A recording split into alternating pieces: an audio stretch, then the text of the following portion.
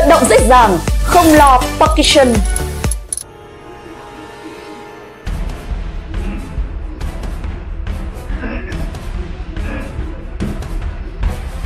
Ờ, nó bị gáy hả?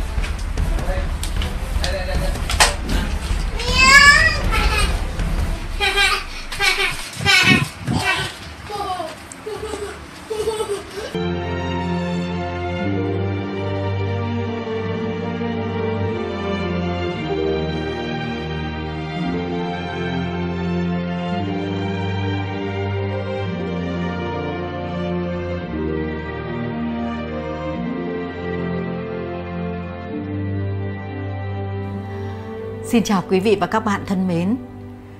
Không hiểu quý vị và các bạn, sau khi xem xong clip mà Lan Hương vừa xem, thì các bạn sẽ suy nghĩ như thế nào? Nhưng Lan Hương thì thấy quả thật, sức khỏe của chúng ta rất đáng được trân trọng. Sức khỏe là vàng là bạc các bạn ạ. Không có gì quý hơn sức khỏe. Đúng là xem xong cái clip này thì mới thấy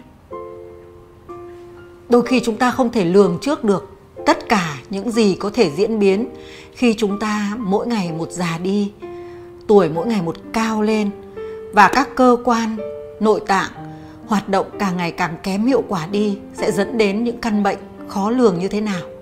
Đặc biệt như cái bác ở trong clip này, bác bị mắc bệnh Parkinson. Lan Hương thì cũng tiếp xúc với rất nhiều người bị Parkinson rồi. Có những người rất thân yêu, Lan Hương biết từ khi còn trẻ. Họ hoàn toàn mất kiểm soát khi mà tay chân rung lắc rất là mạnh. Muốn kiềm chế lại cũng không được. Còn nhân vật ở trong clip này các bạn thấy đấy. Bác rung lắc mạnh đến nỗi khi ăn còn phải lấy dây thun để buộc tay lại. Không thể xúc nổi, không thể cầm được đũa, thực ra không ai muốn như vậy. Họ sẽ đau khổ, sẽ buồn bã như thế nào? Các bạn chỉ nhìn đã biết. Còn lan hương cũng vậy. Đã từng tiếp xúc với những người bị parkinson, những người rất thân yêu, rất gần gũi, ngay từ hồi trẻ. Mình đã không hiểu tại sao tay chân của cụ lại rung như vậy. Cụ bê đĩa thịt gà, mà cả miếng thịt gà bay xuống dưới đất. Đấy là bà ngoại của chồng hương mình đã từng nhìn thấy cảnh đó và rất là thương. Mình tìm hiểu và biết rằng tất cả những người bị Bắc Kinh Sơn dường như họ rất là buồn. Họ cứ có cảm giác họ là người, gọi là người không còn tác dụng, sử dụng nữa, không làm được việc gì nên hồn và trở thành gánh nặng cho gia đình. Chính vì thế, mình mới tìm hiểu về căn bệnh này và biết rằng những người bị Parkinson họ đã thành lập những hội nhóm, thậm chí thành lập cả câu lạc bộ để chia sẻ nỗi niềm với nhau, để tìm cách chữa trị, để tìm hiểu những phương thuốc mới. Họ vẫn hy vọng, hy vọng một ngày nào đó họ sẽ kiểm soát được hành động của mình. Tay chân, cổ không còn rung lắc nữa. Và mình cứ nghĩ rằng có lẽ chúng ta, tất cả những người trẻ, chúng ta hãy tìm hiểu về căn bệnh này. Và làm sao phòng tránh để sau này chúng ta không bao giờ mắc phải căn bệnh này. Và có mắc phải căn bệnh này thì chúng ta sẽ tìm ra những phương thuốc để có thể chữa trị được, để chúng ta có thể sống khỏe mạnh, đem lại niềm vui cho những người thân yêu, đem lại niềm vui cho cuộc sống và có thể làm được rất nhiều việc cho gia đình, cho bạn bè, cho xã hội chính vì vậy lan hương muốn cùng với tất cả mọi người hãy tìm hiểu và hãy chia sẻ với nhau những phương thuốc làm thế nào để chúng ta có thể giảm thiểu được căn bệnh quái ác Parkinson.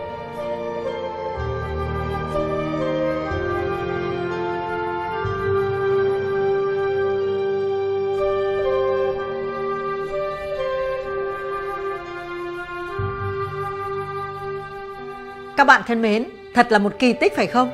Chắc chắn ai đã xem cái clip này rồi thì phải thấy rằng không có niềm hạnh phúc nào to lớn hơn. các bạn hãy nhìn thấy niềm vui mừng vô bờ bến trên gương mặt bác và những người thân yêu trong gia đình. Thật là ngạc nhiên. Đúng lan hương vô cùng xúc động. Và và thấy quả thật là một kỳ tích.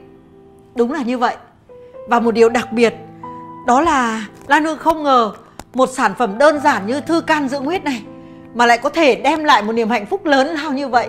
Có thể chữa được một căn bệnh mà dường như trên thế giới bây giờ vẫn còn đang rất lo lắng. Dường như vẫn còn có một sự, gọi là, chưa chinh phục được nó hoàn toàn. Ấy thế mà, bác và gia đình bác đã có được niềm vui lớn lao như vậy. Chỉ từ một sản phẩm đơn giản như thế này một sản phẩm được chiết xuất hoàn toàn từ những thảo dược thiên nhiên đây là sản phẩm thư can dưỡng huyết dành cho người bị Parkinson của công ty PQA. Chắc chắn Lan Hương sẽ quảng bá sản phẩm này, sẽ giới thiệu sản phẩm này tới những người đã đã từng bị Parkinson, đã từng phải khổ sở vì Parkinson. Hãy thử dùng xem. Nó rất đơn giản, nó được chiết xuất từ thảo dược thiên nhiên và nó không có tác dụng phụ. Lan Hương được biết rằng tất cả những người Parkinson trước đây đã dùng những cái phương pháp Tây y, uống thuốc Tây hay có những cái tác dụng phụ, ví dụ như là mất ngủ này, ví dụ như là tụt huyết áp này, hay quên này. Nhưng thư can dưỡng huyết không hề có tác dụng phụ. Và các bạn đã thấy đấy, trong cái clip này bác bệnh nhân của chúng ta hoàn toàn thay đổi bác không nghĩ rằng bác lại có thể làm chủ được mọi hành động của mình như vậy. Là nương mong rằng những ai bị Parkinson rồi cũng sẽ khỏi bệnh được như bác. Vậy chúng ta tại sao không thử? Tại sao không thử sử dụng thảo dược thư can dưỡng huyết của PQA một sản phẩm Việt Nam hoàn toàn. Chúng ta là người Việt Nam, ưu tiên dùng hàng Việt Nam. Cứ hãy thử xem.